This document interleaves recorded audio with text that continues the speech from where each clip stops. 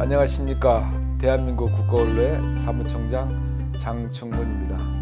아, 새해를 맞이하여 먼저 어, 애청자 여러분들의 에, 새해 복 많이 받기를 기원합니다. 오늘은 성공하는 사람들에 대한 얘기를 드리고자 합니다. 경기가 어렵고 어, 젊은 사람들한테 일자리가 없다 보니까 아, 여러 가지 어려움이 많이 있는 건 알고 있습니다만은 아, 자세에 따라서 어떤 자세를 갖느냐에 따라서 어, 성공을 할 수 있지 않을까 저는 그렇게 생각합니다. 일단 젊은 사람들은 도전을 해봐야 됩니다. 이게 될까 안 될까 어, 재다 보면 일을 할 수가 없습니다. 그 현대그룹의 정주영 회장님이 예, 말씀하셨죠. 어, 임자 한번 해봤나? 해보고 안 되면 부족한 점을 보완해 나가는 그런 자세가 필요합니다. 자, 우리가 그 어떤 일을 하려면 답답하죠. 아는 것이 없으니까 어, 그런 경우에 일단 음, 책을 통해서 정보를 어, 지식을 얻으면 됩니다. 자기가 하고 싶은 분야에 대한 어, 많은 책들을 구해서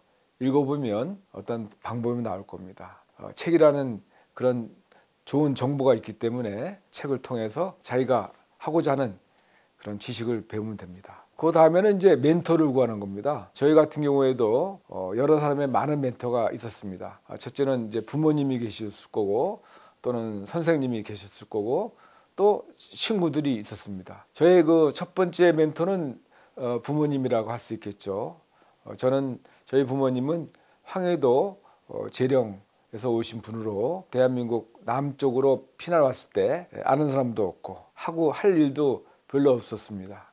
아, 그러나 그 지인을 통해 가지고 일본에서 그 염료죠 염료 염료를 수비에다 판매하는 그런 일을 하셨는데 굉장히 그 고생을 많이 하셨지만 나름대로 그 성공한 사회가였습니다. 제가 어릴 때 그 밥을 먹다가 쌀알이 떨어지면은 혼이 났어요. 그 일흔 두 번의 과정을 겪어서 우리가 먹는 쌀이 되는 건데 그러한 그 농부들의 노고를 생각한다면 우리가 한 톨의 쌀도 아낄 수가 없다 이런 말씀을 해주셨습니다. 굉장히 그 치열하게 삶을 살았기 때문에 우리가 성공을 할 수 있지 않았나 이런 생각을 해봅니다. 또 다른 멘토로는 선생님을 들 수가 있겠죠. 제가 어, 어려운 환경에 있음에 저를 사랑해 주시고 저에게 큰 힘을 주신 저한테 용기를 주는 선생님이 계시기 때문에 오늘의 제가 있었다고 생각합니다. 스승의 날이 되면 생각이 나는 좋지 않은 기억을 주는 선생님도 계시지만 아, 그런 나쁜 기억은 다 잊어버리고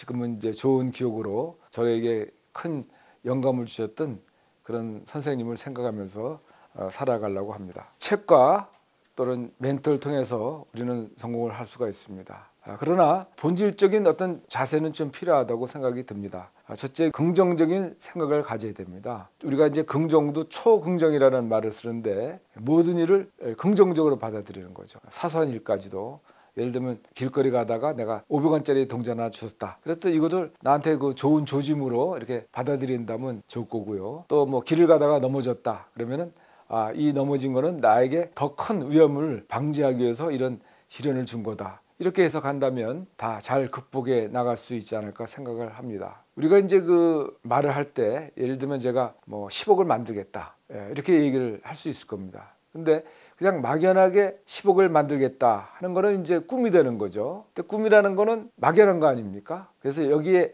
시간을 부여하면 예를 들면 내가 10년 이내에 1억을 만들겠다. 시간을 정한다면 계획이 되겠죠. 내가 살아가는 삶에 있어서 막연한 꿈이 아닌 어떤 구체적인 시간을 갖는 그런 계획을 갖고 일을 한다면 보다 성공에 가까워지리라 생각합니다. 저는 어디 가면 말이 많은 편은 아닙니다. 사실은 예, 저는 이제 남들이 말하는 거를 예, 잘 들어주고 어, 그리고 이제 아 격려해주고 어, 덕담해주는 어, 그런 스타일이긴 하지만 때에 따라서는 또 주도적으로 어, 말을 많이 할 때도 있습니다. 어, 이런 모든 것은 어, 자기 통제력이 강해야 됩니다. 스스로 나를 제어할 수 있는 그런 능력을 가져야만 예, 성공을 할 수 있다고 생각합니다. 자, 근데 남이 시켜 사는 사람이 아니라 일을 찾아서 일을 만들어서 그런 그 어, 주도적인 성격을 가질 때 예, 성공에 좀더 어, 가까워진다고 생각합니다. 제가 그 최근에 우연한 계기로 그 당에 들어갔는데 제가 저에게 맞는 그 일을 찾아서 예를 들면은